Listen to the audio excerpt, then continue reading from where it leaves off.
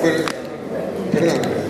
Yo, en realidad pedí la palabra por dos cuestiones. Una para dar la bienvenida a algunos compañeros que no son parte del espacio de, Carta Abierta y que nos acompañan hoy. Y la otra es porque eh, esta semana eh, va a haber una movilización, yo no sé bien la fecha que se confirmó por lo de Milagros Salas.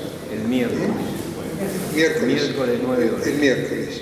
Y creo que es este, lo más importante para que antes de fin de año, si no obtenemos la liberación de Milagros, este, pague el gobierno un costo político como corresponde por lo que está haciendo. Eh, yo creo que es difícil que, se produzca tan rápido esto. Creo que va a depender mucho de nuestra capacidad de movilización. El 16 de enero se va a cumplir un año de la detención de Milagros Sala. Y me parece a mí que Carta Abierta puede tomar una iniciativa en ese sentido de convocar a fuerzas políticas y sociales a hacer una gran movilización en todo el país, porque creo que es la única forma que vamos a conseguir que a la compañera efectivamente le den la libertad. Y creo que eh, para nosotros... Eh,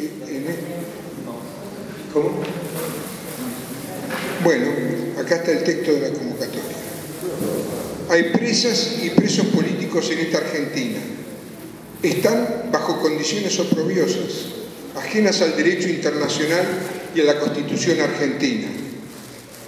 Hay una Navidad sin milagro. Pero no será milagro su libertad, sino resultado de la lucha de todos.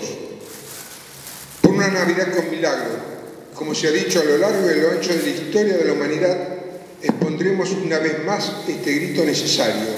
Libertad a los encarcelados, libertad a Milagro Sala y a todos sus compañeros y compañeras. Basta de vergüenza política y judicial. Frente a la Casa de Jujuy para marchar hacia tribunales, Avenida Santa Fe 967 a las 10 horas. Todos vestidos de negro. Nuestros rostros, silenciosos y agraviados, serán portadores del rostro de Milagro Sala sobre un fondo de silencio se escuchará la voz de milagro y desde ese mismo fondo se recortarán nuestras voces, las elocuentes voces del silencio, colectivos culturales organizados, artistas para la libertad, Frente de Artistas y Trabajadores de la Cultura, AUYA, Revista Kamchatka, Músicos Componiendo, Patria, Agrupación Afro Sangó por la Inclusión y la Justicia Social, Federación Argentina LGTB, Mesa Nacional por la Igualdad, María Rashid, Esteban Paulón. Frente Nacional por la Igualdad del Movimiento Evita. Merda, Carta Abierta. Tupac, si no hay justicia, solo hay venganza.